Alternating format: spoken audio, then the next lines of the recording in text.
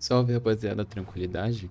No vídeo de hoje estou trazendo um mod gráfico top para vocês. Algumas pessoas estavam me dizendo que tem uns mod gráfico que não estava podendo ser usado na cidade de RP. Então hoje estou trazendo um mod gráfico muito bonito e leve que vai rodar em vários PCs fracos. E o melhor, é apenas uma citizen. Então as maiorias da cidade de RP vão poder usar ele. E se você tiver alguma dúvida aí, pode estar entrando lá no meu Discord. É o primeiro link aí na descrição do vídeo. É só clicar e entrar lá que nós trocamos ideia. E não se esqueça de deixar o like e se inscrever no canal aí, que ajuda demais. E se possível comentar também. E tamo junto, vamos pro vídeo.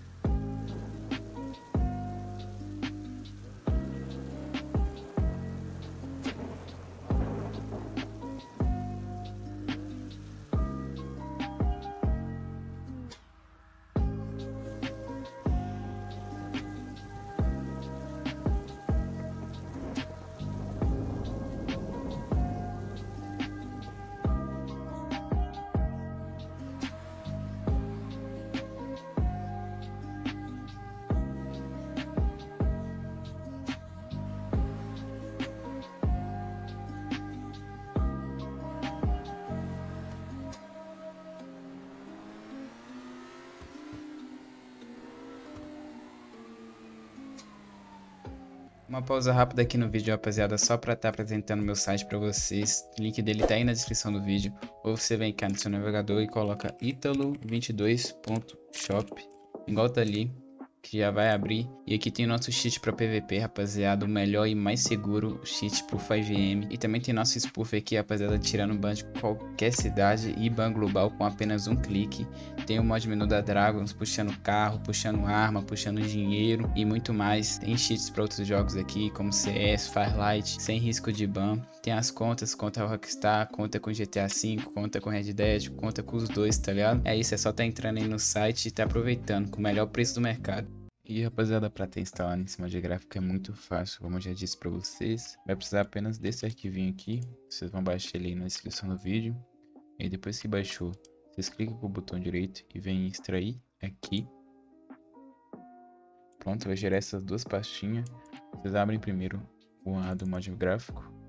Aí vai ter essa pasta aqui dentro chamada Citizen, padrãozinha. Copiar ou recortar.